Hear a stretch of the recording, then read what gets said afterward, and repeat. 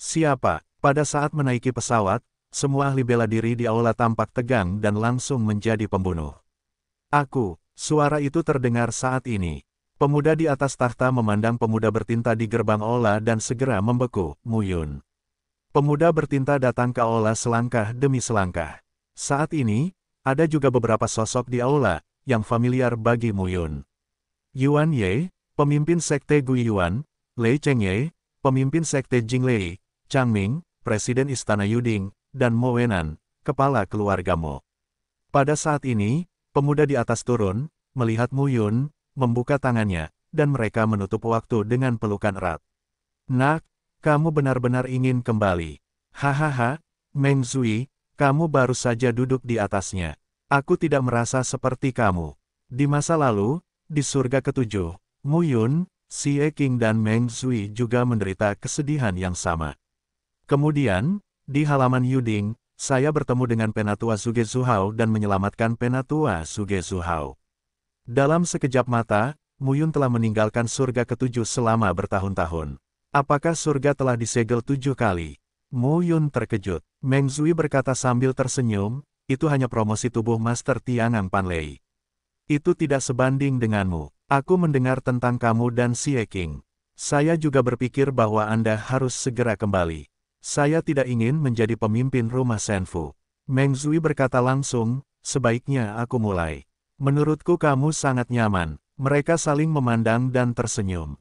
Pada saat ini, Presiden Changming, Patriark Ye dari dinasti Yuan, Patriark Lei Chengye, dan Patriark Mowenan juga maju satu demi satu, dan beberapa teman lama lainnya juga bertukar salam satu persatu.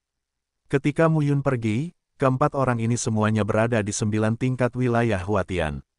Sekarang, ada wilayah Tongtian dan wilayah Rongtian, tetapi tidak ada yang bisa mencapai tingkat memotong surga dan menyegel surga.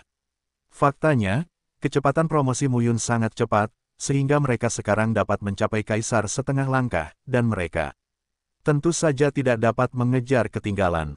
Di aula, banyak orang berkumpul dan Mu Yun menyapa satu persatu. Baru saja aku mendengar kamu berkata bahwa Huang Ge dan Tian Lou sepertinya tidak baik. Hem, Meng Zui segera berkata, selama bertahun-tahun, situasi di tujuh wilayah timur adalah yang paling kompleks, dan empat wilayah lainnya relatif stabil. Namun, karena kebangkitan Senfu di tujuh wilayah timur wilayah, Huang Ge dan Tianlou tidak mengizinkan kebangkitan Senfu kami, dan kami telah bertarung satu sama lain ratusan kali. Meskipun Senfu digabungkan dengan kekuatan Kekaisaran Donghua, Istana Ulat Sutra Es, dan Sekte Pedang Bulan Darah, itu masih sedikit lebih buruk daripada Huang Ge dan Tianlou. Petik 2. Benarkah? Muyun berkata, di mana Li Chenfeng? Eh, Li Chenfeng. Muyun kemudian berkata, orang-orang Kingman. Kingman, aku tidak tahu. Kita belum pernah bertemu. Mu Yun bahkan lebih terkejut. Pada masa itu, penduduk Kingman datang ke surga ketujuh. Bagaimana dengan orang-orangnya? Itu adalah tujuh kaisar setengah langkah.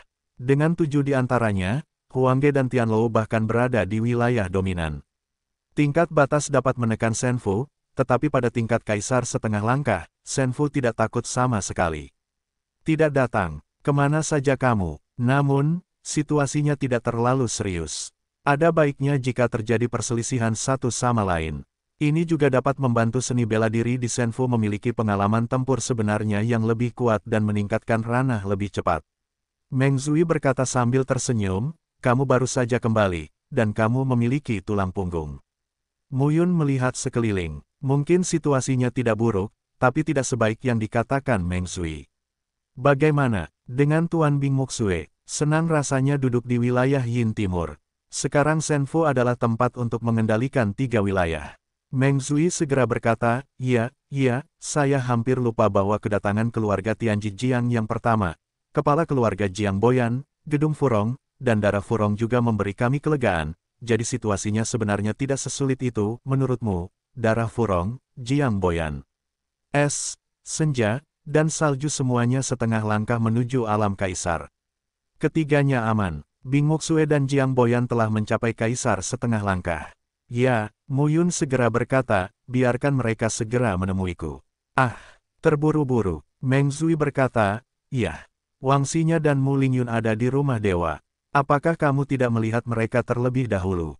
Sekarang pergilah dan beritahu orang-orang dari keluarga Jiang dan gedung Furong untuk datang ke sini. Saya akan menunggu di Senfu. Oke, setelah itu, Meng Zui pergi. Pada saat ini, Mu Yun sedang berdiri di aula, dan semua orang di sekitarnya penuh hormat. Semua orang tahu bahwa Mu Yun membunuh Kaisar Ban Buhua dan Kaisar Kuasi. Adapun kematian Jin Mingtian di keluarga Wuling, beritanya belum menyebar, namun meski begitu, Mu Yun di depannya sudah lama menjadi murid Akademi Yuding di masa lalu. Saat Meng Zui pergi, beberapa orang datang dari luar aula. Gembala, salah satu dari mereka membungkuk dengan rendah hati. Raja Hantu Luocha awalnya adalah wilayah surga. Kemudian, segel gelap hidup dan mati diberikan oleh Muyun. Sekarang, dia telah mencapai wilayah surga tingkat ketujuh.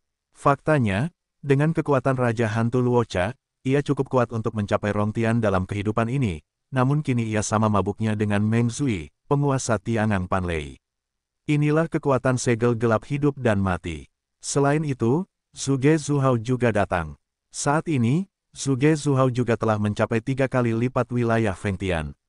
Dia adalah orang yang sangat kuat di Senfu ini, tetapi kesenjangan antara Zuge Zuhao dan Muyun semakin lebar. Beberapa murid lain di halaman Yuding di masa lalu, kenalan Muyun di surga ketujuh, dan beberapa pangeran kekaisaran Donghua, semuanya menerima berita tersebut dan segera datang. Setelah bertahun-tahun, semua orang menghela nafas saat bertemu lagi. Promosi Muyun selama bertahun-tahun sungguh luar biasa. Ayah, pada saat ini, di luar aula, suara yang jelas tiba-tiba terdengar. Suara itu terdengar, hanya untuk melihat seorang gadis mengenakan gaun panjang berwarna merah muda dan postur anggun, berusia sekitar 14 atau 15 tahun, berdiri di sana. Gadis itu terlihat sangat muda, tetapi wajahnya yang menawan penuh pesona, lebih murni daripada iblis.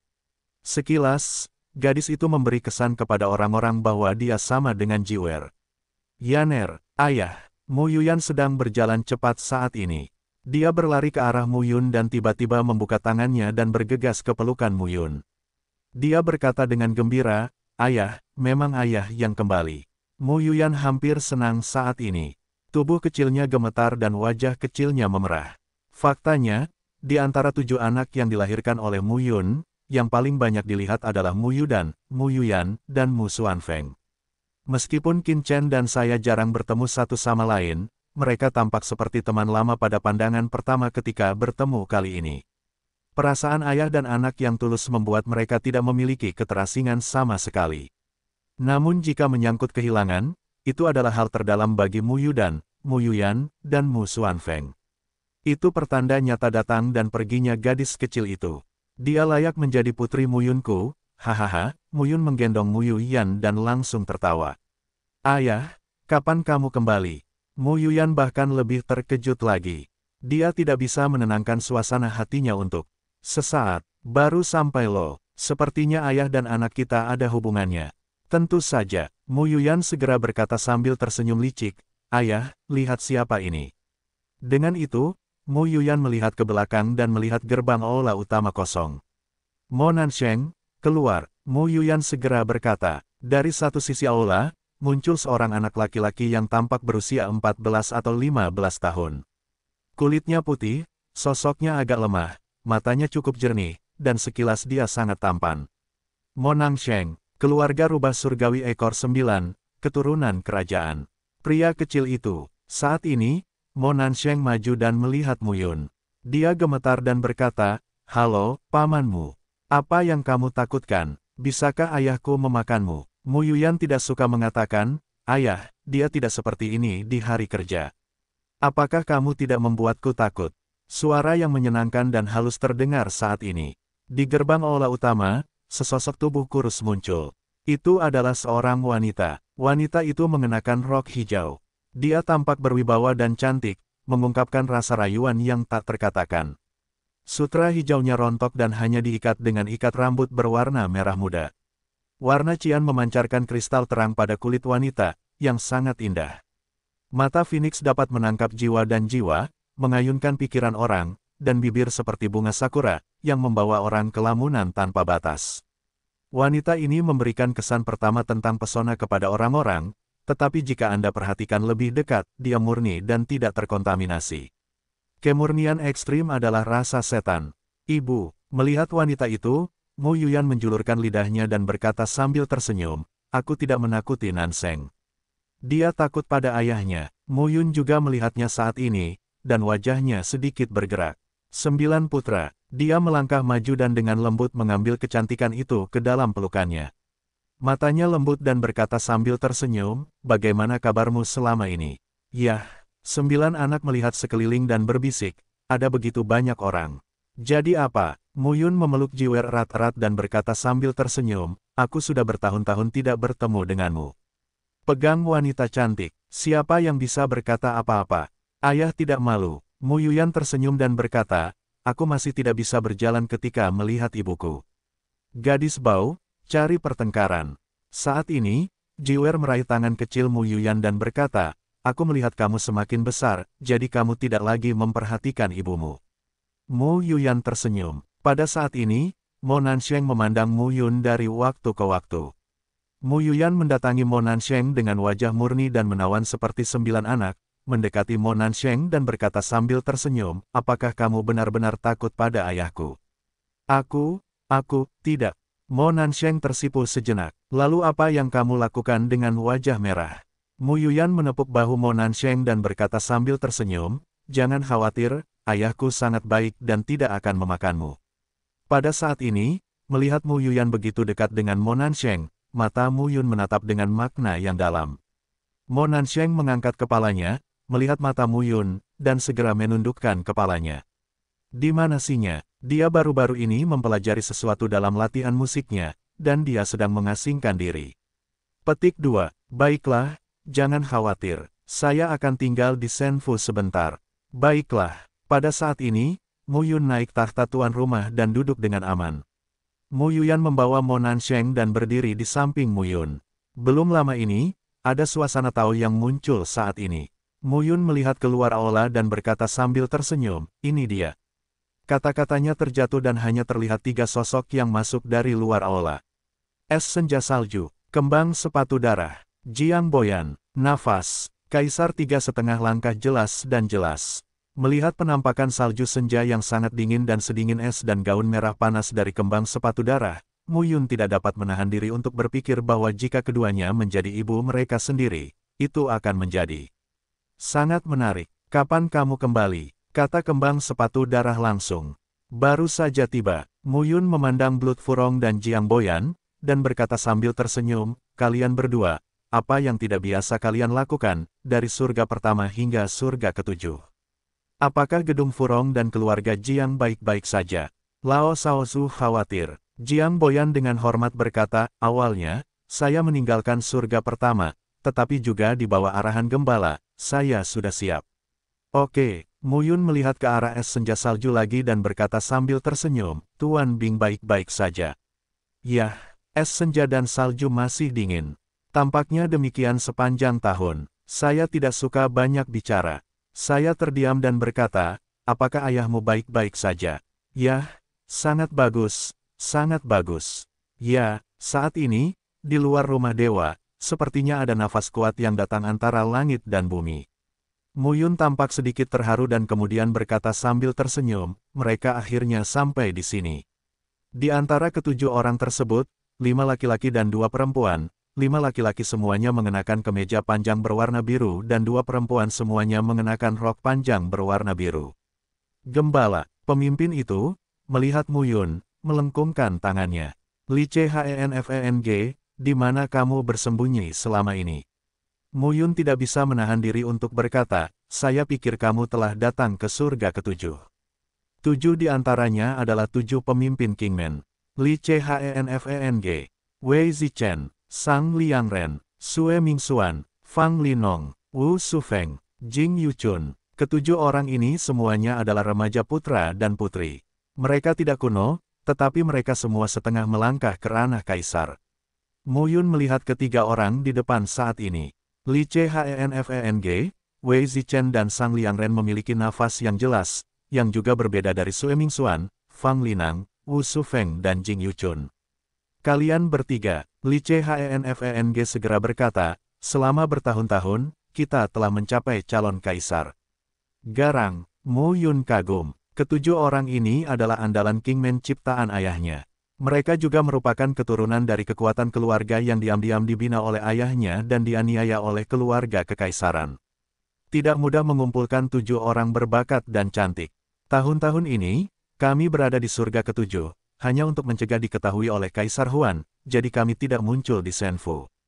Kami hanya membawa orang-orang Kingman menjadi beberapa bagian dan bersembunyi di surga ketujuh. Bagus, Muyun mengangguk dan berkata, sekarang Kaisar Huan hanya tahu bahwa ada gedung Jiangjia dan Furong di rumah Senfu. Dia hanya berpikir bahwa rumah Senfu kita dapat bersaing dengan Huangge dan Tianlou, dan Kingman dapat disembunyikan. Petik 2. Ya, petik 2. Hanya tiga kaisar kuasi dan empat kaisar setengah langkah Kingman, ditambah banyak orang kuat yang menyegel surga, kekuatan tertinggi ini sangat kuat. Sekarang semua orang telah berkumpul, mari kita minta anak-anak Senfu di tiga wilayah timur untuk menyerahkan daftar rincin mereka yang mendominasi wilayah tersebut dan mereka yang berada di wilayah tersebut untuk mendaftar. Muyun berkata, saya juga ingin melihat apakah Senfu saat ini memiliki kekuatan untuk bertarung dengan Huangge dan Tianlou. Begitu ucapan ini keluar, semua orang yang hadir tampak tercengang. Meng Zui memandang Muyun dan tidak bisa menahan diri untuk berkata, apakah kamu ingin berperang? Ya, Muyun berkata dengan serius, kekuatan kelas 1 di surga ketujuh. Termasuk Aula Delapan Gurun, Lima Roh, Sekte Brahman, Keluarga Huangji, Pavilion Huangge, Menara Surgawi, Aliansi Iblis Surgawi, dan Istana Surgawi Jiuku. Di antara delapan sisi, Pavilion Huangge dan Menara Surgawi adalah yang terburuk. Istana Surgawi Jiuku, Aliansi Iblis Surgawi, Fan Tianzong, dan keluarga bangsawan Huangji memiliki kekuatan yang sama. Yang terkuat adalah lima roh dan delapan Aula Gurun. Delapan Aula Gurun memiliki fondasi yang dalam. Bagaimanapun, itu adalah kekuatan Kaisar Langit. Tidak jelas seberapa dalam kekuatannya. Tetapi dari apa yang saya ketahui tentang Kaisar Langit Agung, delapan Aula Gurun Kaisar Huan pasti lebih dari sekadar dia. Kaisar adalah tahta Tuhan. Delapan kekuatan kelas satu berbeda. Sekarang Senfu juga menunjukkan kepalanya. Seharusnya tidak ada tiga kekuatan di tujuh wilayah timur. Ketika saya kembali, Huangge dan Tianlou harus dihancurkan.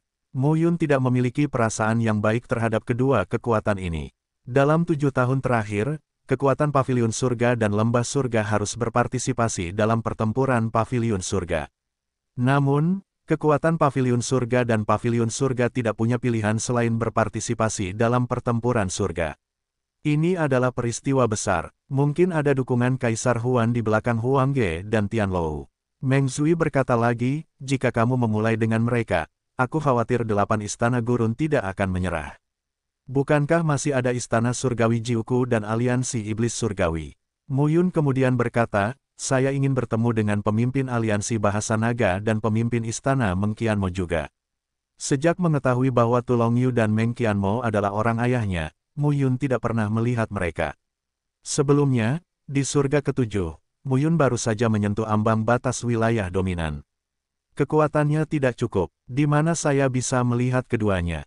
Dan sekarang, dia memenuhi syarat. Sembilan anak berdiri di samping Muyun dan berkata, saya bisa menyampaikannya. Yah, Muyun melihat ke kerumunan inti lagi dan berkata, jangan menyebarkan masalah ini untuk saat ini. Cepat dan kejam, jika kamu menghancurkan Huangge dan Tianlou, kamu tidak perlu menghancurkannya. Pintu, mereka yang mau menurut akan meminta, dan mereka yang tidak mau akan dibunuh. Hanya akan ada satu Senfu di tujuh wilayah timur. Ya, Mucheng adalah ibu kota kuno kerajaan Donghua di masa lalu, dan ruang di mana peninggalan kerajaan Donghua berada adalah sebuah dunia. Pada saat ini, Mu Yun, Jewer, Kingman dan yang lainnya datang ke sini satu demi satu. Sinya ada di dalam situs bersejarah. Sebuah gua ditutup. Oke, jangan ganggu dia. Biarkan dia diam. Hem, Muyun memandang ketujuh orang Li CHENFENG saat ini, dan berkata sambil tersenyum, ketika aku bertemu dengan tujuh orang di reruntuhan suci Xiaoyao, berarti tujuh orang hari itu, aku ingin datang sekarang, tapi menurutku itu luar biasa. Ayahku sangat mempercayai kalian bertujuh. Menurutku kamu dulu bersama ayahku. Ada banyak hal. Petik 2. Sekarang, Saya juga kaisar setengah langkah. Mari kita coba hari ini dan bersaing dengan tujuh. Bagaimana? Ketika Li CHENFENG mendengar ini, mereka semua tampak tercengang. Tuan kecil, kita bertiga adalah alam kuasi kaisar. Ditambah mereka berempat, bawahanku tidak meremehkan tuan kecil, tapi... Saya pikir Anda juga tahu bahwa saya bisa membunuh kaisar kuasi dan bersaing dengan kalian bertujuh. Kalian tidak perlu khawatir tentang apa pun. Aku berada di Istana Cangdi selama 100 tahun sebelumnya. Kemudian, pertempuran reruntuhan suci Xiao Yao berakhir. Setelah delapan tahun diam dan duduk, aku benar-benar menjadi setengah langkah kaisar, yang baru berusia 108 tahun. Titik. Dalam beberapa tahun, itu telah membuatku memiliki banyak wawasan. Saya perlu mencari seseorang untuk mencoba beberapa metode saya untuk nanti, pada titik ini, Mu Yundun berhenti dan berkata lagi, untuk nanti, bunuh Kaisar Huan. Begitu kata-kata itu keluar, tujuh orang yang hadir, termasuk sembilan anak, semuanya gelap, dan wajah mereka terkejut. Mu Yun, kamu, sembilan anak segera menjadi gugup. Seorang kaisar surga yang kuat, saya tidak tahu berapa banyak, tidak sebanding dengan banyak dewa dan kaisar kuno. Mu Yun sebenarnya berencana membunuh Kaisar Huan. Ini benar-benar berbeda dengan membunuh Di Yuan sebelumnya. Kaisar Huan adalah kaisar surga yang sebenarnya. Tiandi juga sebuah gelar. Alam Tiandi ketujuh jelas melampaui beberapa gelar, seperti dewa dan kaisar. Muyun kemudian berkata, sebelum semua orang, saya tidak menjelaskan bahwa kepunahan Huang Ge dan Tianlou hanyalah awal dari rencana saya. Jika kamu tidak membunuh kaisar surga, beberapa orang di alam Changlan tidak dapat melihat dengan jelas. Sekarang, Dibandingkan dengan klan kaisar, klan pastoral kita tidak sebaik kekuatan lain, tetapi sama sekali tidak sebanding. Adapun Kaisar Huan, di antara delapan orang Dixing, Dixuan Hao, Di Yifan, Di Yutian, Dixuan, Di Lei, Di Huan dan Di Tengfei, Di Huan adalah yang terlemah. Bintang Kaisar adalah yang terkuat, dan Kaisar Huan adalah yang terlemah. Itu sebabnya ayahku menanam istana surgawi Jiuku dan aliansi Tianyao di surga ketujuh. Adapun yang lainnya, Kaisar Suan dan Kaisar Tengfei tidak punya niat. Mereka ditemani oleh keluarga jiwa dan keluarga tulang. Gerbang Seng Suan dan Fei Huang Shenzong tidak lemah, tetapi mereka juga merasa benar sendiri. Selain itu, hal yang paling mendalam adalah Kaisar Suan Hao. Ayahnya pernah berkata bahwa mungkin Kaisar Sing gagal mencapai alam Tuhan, dan Kaisar Suan Hao mencapai langkah itu lebih cepat darinya. Kecuali dia, Kaisar Yifan, Kaisar Yutian, dan Kaisar Lei. Tak satu pun dari mereka yang mudah diprovokasi. Mereka telah bertempur beberapa kali. Kaisar ketiga, keempat, dan keenam tidak pernah menembak. Petik 2. Kaisar Yifan memang muncul, tapi dia bertarung dengan kakak laki-laki tertua. Kakak laki-laki tertua memberitahuku terakhir kali bahwa Kaisar Yifan seharusnya bisa mengalahkannya, tapi dia tidak melakukan yang terbaik. Secara umum, delapan kaisar surgawi, di Huan, relatif lemah. Setelah mengambil di Huan, alam surga ketujuh akan dikembalikan ke Senfu, dan klan Ye di Aula Awan dan reruntuhan suci Xiao Yao di alam surga kesembilan akan menjadi tanduk satu sama lain. Pada saat itu, itu adalah klan kaisar dan klan gembala yang sebenarnya. Pertempuran perang. Untuk sesaat, sembilan anak melayang di hati mereka. Kekuatan Muyun memang tidak lemah. Setidaknya sekarang, di Changlan, tidak ada seorang pun yang bisa bersaing di alam kuasi kekaisaran dan setengah melangkah ke alam kekaisaran. Tapi, Kaisar Huan adalah kaisar surga. Jika Muyun mencapai alam kuasi kaisar, dia sedikit lega. Itu hanya sebuah setengah langkah untuk mengubah kaisar. Apa yang ingin Anda bunuh adalah gelar umum Tuhan. Itu hanya gelar kaisar, tetapi Anda ingin membunuh Kaisar Huan. Itu terlalu berbahaya. Jewer tidak bisa menahan diri untuk berkata. Dengan cara ini, Kaisar Huan tidak menyangka bahwa begitu dia mulai melakukannya, pembuluh darah keluarga naga di surga pertama, menghormati perintah Xie King, dan bintang kaisar tidak bisa bergerak. Petik 2. Keesokan harinya, dunia masih seperti ini. Bing Xiao Chen menghentikan Kaisar Suan Hao. Saya juga berbicara dengan Yao Er tentang hal ini. Kaisar surga ketiga Yi Fan, berikan kepada saudara bela diri tertua. Meskipun saya belum menjelaskannya kepada kakak laki-laki tertua, kakak laki-laki tertua seharusnya tahu apa yang saya maksud. Petik 2. Surga keempat, Istana Dewa Es, dan keluarga Titan sudah. Cukup untuk melibatkan Kaisar Yutian. Adapun alam surgawi kelima dan kedelapan, empat kekuatan adalah masalah terbesar. Klan Ye pada awalnya stabil. Jika mereka tidak dapat menghentikan keempat sisi, mereka harus dibantu oleh aula awan. Dengan cara ini, yang paling membuatku khawatir adalah radium Kaisar ke-6, Pavilion Tianlei. Keluarga Kilin sama kuatnya dengan keluarga Wuling, tetapi keluarga Kilin tidak serta-merta membantu. Persahabatanku dengan Moyu dan Huang Yan mungkin tidak cukup bagi keluarga Kilin untuk menghidupi keluarga pastoral. Mendengar perkataan Muyun, Li Chenfeng tahu bahwa Muyun sudah memiliki perhitungan di dalam hatinya. Li Chenfeng segera berkata, Kaisar Lei jarang muncul, dan saya tidak tahu banyak tentang orang ini.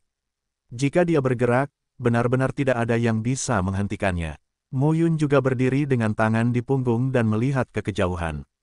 Pavilion Tianlei, Kaisar Radium, orang jahat yang menghancurkan, lupakan saja, aku tidak bisa mengandalkannya. Para dewa dan kaisar kuno mungkin tidak membantuku bahkan jika mereka berteman dengan gembala kita.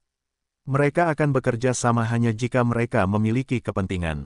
Faktanya, kekuatan yang dipertimbangkan oleh Muyun sekarang tidak termasuk para dewa dan kaisar kuno. Bagaimanapun, para dewa dan kaisar kuno itu, atau penerimaan ayah mereka, atau rasa hormat mereka terhadap kaisar Ming, atau netralitas mereka, dan kekacauan dunia, mereka tidak dapat muncul sekarang. Jadi orang-orang itu tidak bisa diperhitungkan. Muyun kemudian berkata, mungkinkah ada berita tentang Dewa Malam Ling Yuanhai tahun ini? Aku tidak tahu. Ling Yuanhai, Dewa Malam, dikalahkan oleh Ye Xiaoyao sepanjang hidupnya. Terakhir kali di surga ketujuh, kemunculannya menyelamatkan nyawa Muyun. Jika Anda bisa menemukannya, Anda mungkin bisa menolak radium kali ini. Baiklah, biarkan aku berpikir lagi.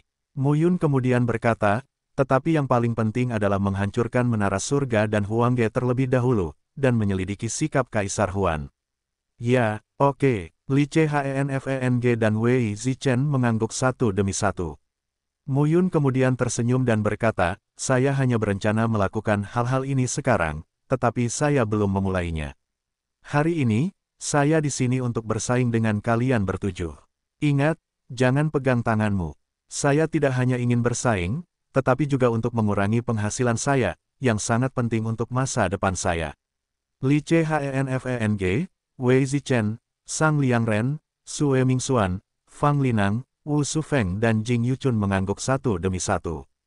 Tuan kecil sekarang setengah melangkah ke alam kaisar, tapi kita bisa membunuh kaisar semu. Kita tidak akan pernah meremehkannya. Tapi ngomong-ngomong, Tuan kecil, jangan meremehkan kami bertujuh. Itu sudah pasti. Muyun memandang Jiwer dan tersenyum. Jiwer segera mundur ribuan mil jauhnya. Muyun berkata sambil tersenyum, bertarung di sini, aku khawatir itu akan menghancurkan tempat ini. Ayo, dengan itu, sembilan tripod pedang suan di tangan Muyun meledak, dan cahaya pedang, cukup untuk merobek ruang di sini. Pada saat itu, pedang itu membuat celah, dan Muyun melangkah keluar dan memasukinya. Medan perang luar angkasa, di reruntuhan suci Xiaoyao tahun itu, Muyun mencapai tingkat Rong Tianjing. Dia melihat kaisar setengah langkah, kaisar kuasi, dan dewa saling bertarung. Dengan lambaian tangannya, dia merobek ruang dan membuka medan perang luar angkasa. Darahnya mendidih untuk bertarung di medan perang luar angkasa. Teng, sampai sekarang, dia bisa melakukan ini. Latihan bertahun-tahun ini tidak sia-sia. Li Chenfeng, Wei Zichen dan Sang Liang Ren keluar satu demi satu. Sembilan anak melihat pemandangan ini dari kejauhan, tapi juga tampak sedikit. Gugup, dia tiba-tiba merasa Muyun yang kembali kali ini agak berbeda. Mengejar cara yang kuat lebih kuat dan tampaknya lebih mendesak untuk meningkatkan kekuatan mereka. Kamu pasti bisa, bisik sembilan anak laki-laki. Pada saat ini, Muyun dan tujuh orang berdiri terpisah di medan perang luar angkasa. Tiga kaisar kuasi dan empat kaisar setengah langkah. Muyun memegang sembilan tripod pedang misterius. Konsepsi artistik dari sembilan pedang palsu meletus. Dengan satu pedang, medan perang luar angkasa di sekitarnya meluas beberapa kali lagi. Ini adalah satu-satunya cara untuk membuka medan perang di tingkat kaisar setengah langkah, kaisar kuasi, dan kaisar dewa. Ruang dan waktu di sini akan lebih stabil daripada dunia luar, yang lebih kondusif bagi yang benar-benar kuat dan berusaha sebaik mungkin untuk melepaskan diri. Muyun memegang pedang dan terlihat tenang seperti biasanya. Li Chenfeng, Wei Zichen dan Sang Liang Ren berusia tujuh tahun, tetapi mereka tampak serius. Menghadapi Muyun, tidak mungkin untuk ceroboh. Sua, dalam sekejap, di antara ketujuh orang itu, Jing Yuchun berpindah. Tubuhnya seperti burung layang-layang. Di sela-sela mengangkat tangannya, puncak hijau setinggi tiga kaki menyapu telapak tangannya, yang sangat menakjubkan. Setelah pedang panjang itu terbunuh, mata Jing Yuchun menjadi tenang dan gigih. Dalam sekejap, posisi ujung pedang melepaskan puluhan pedang ki dan membunuh langit dan bumi. Tubuh pedang, Muyun memandang Jing Yuchun dan mengangkat telapak tangannya. Sembilan tripod kuno dikumpulkan di sekitar tubuh pedang sembilan tripod Suanjian. Mereka berubah menjadi ribuan pedang ki dan meraung.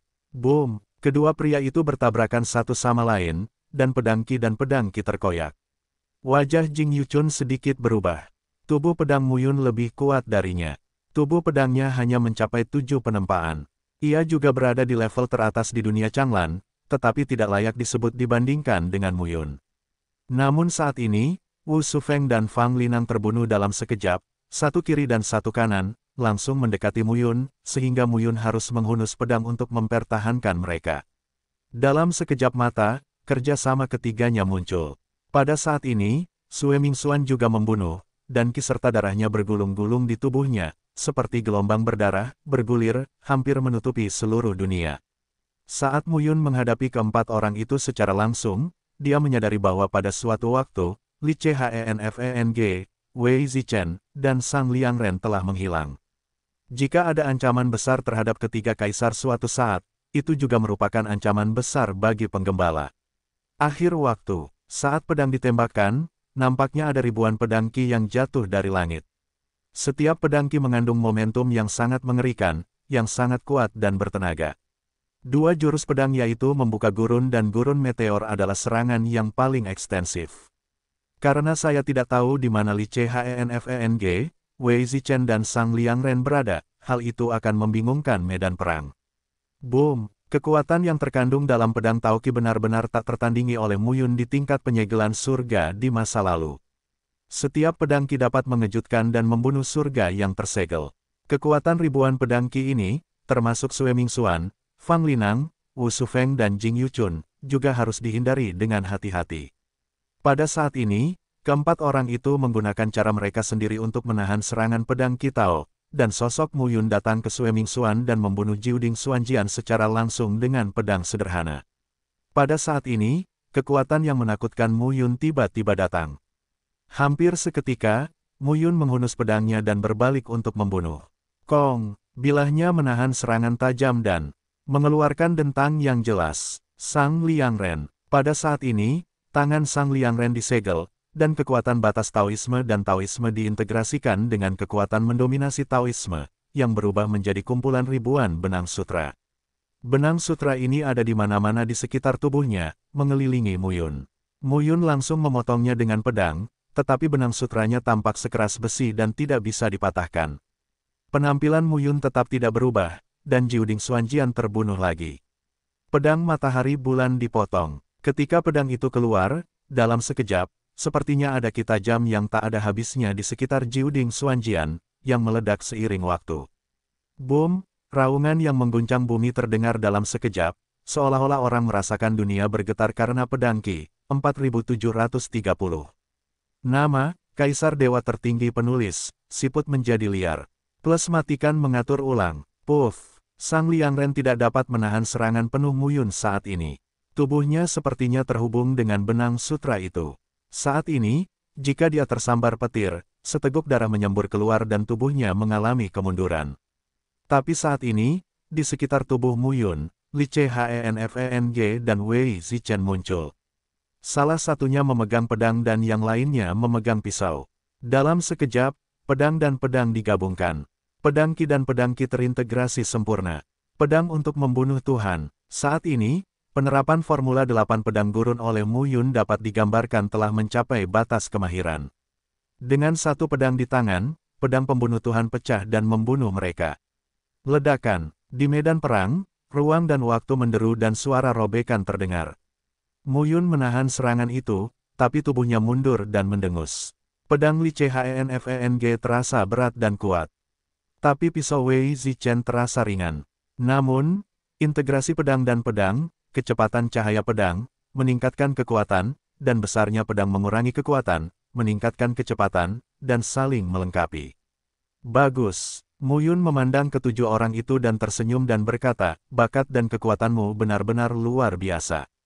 Li CHENFENG dan Wei Zichen tidak tersenyum saat ini.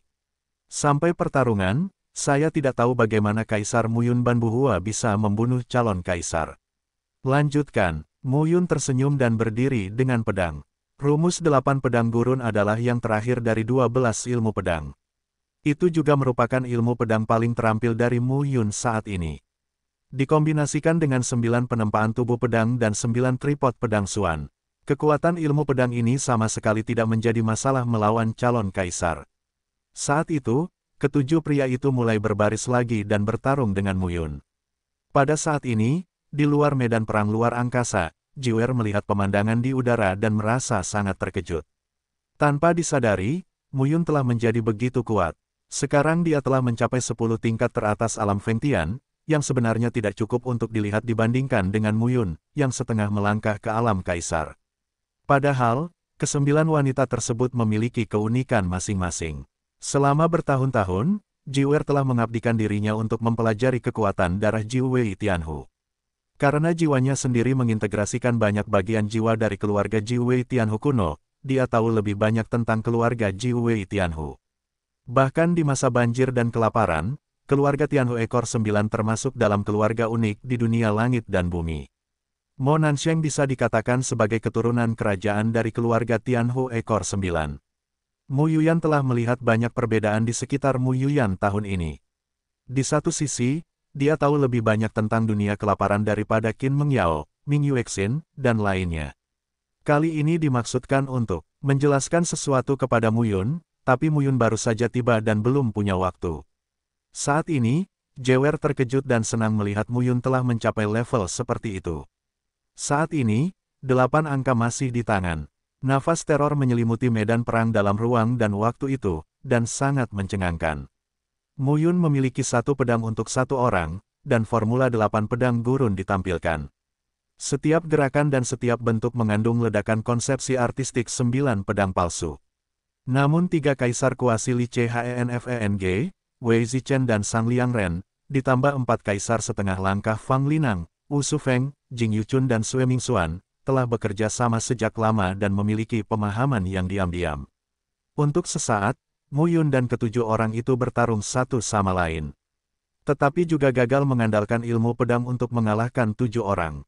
Selanjutnya, sambungkan. Tiba-tiba, kata-kata Muyun jatuh, telapak tangannya digenggam, dan pedang sembilan tripod suan ditarik kembali. Di telapak tangannya, enam cetakan mantra berbentuk produk terkondensasi dalam sekejap.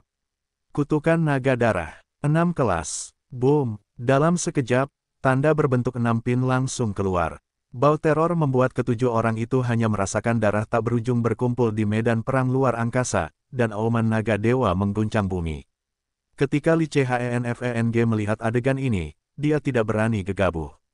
Begitu tubuhnya mundur, enam sosok berkumpul di depannya. Akhiri pertempuran, Ketujuh orang itu berkumpul dalam sekejap dan bergegas menuju Muyun dengan momentum yang tajam dan tak tertahankan. Dalam sekejap, benda tajam itu menjadi kekuatan yang substantif dan mengerikan, yang langsung meledak.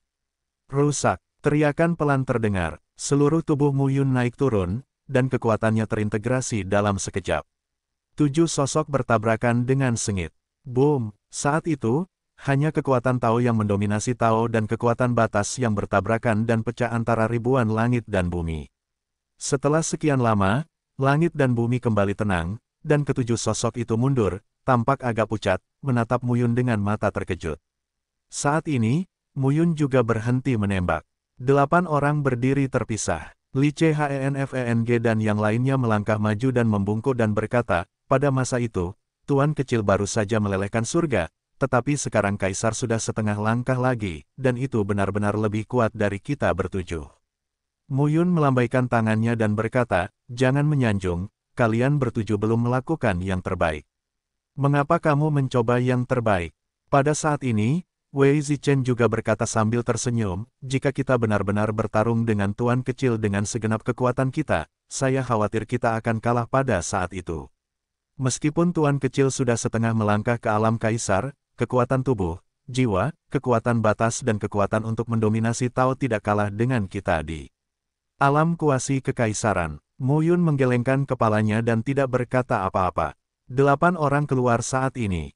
Muyun berkata lagi, kalian bertujuh, tenangkan orang-orang Kingman terlebih dahulu, dan bersiaplah untuk melakukannya kapan saja. Ya, tujuh angka tersisa. Jiwer memandang Muyun dan berkata sambil tersenyum, kamu benar-benar berbeda. Terakhir kali kamu pergi, aku khawatir kamu terbunuh di surga pertama. Sekarang, sebelum Jiwer selesai berbicara, Muyun tiba-tiba menariknya ke dalam pelukannya dan memegang punggungnya dengan kuat dengan kedua tangannya.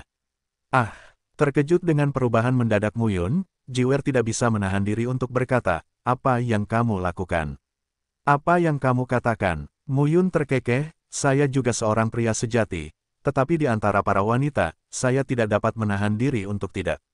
Melihat Anda, makhluk alami berarti Anda, sembilan putra buru-buru berkata, kalau begitu kembali ke istana dulu. Di sini, langit adalah selimut dan bumi adalah tempat tidur. Benar? Haha, tawa Muyun yang tak terkendali terdengar. Di sekelilingnya, dan kemudian, di dunia rahasia, ada sebuah lembah, dan dua sosok jatuh ke dalamnya. Setelah kemarau panjang dan embun manis, wajah Jewer menjadi sedikit merah di lembah, yang menonjolkan pesonanya. Dia memandang Muyun dengan ketidakpuasan.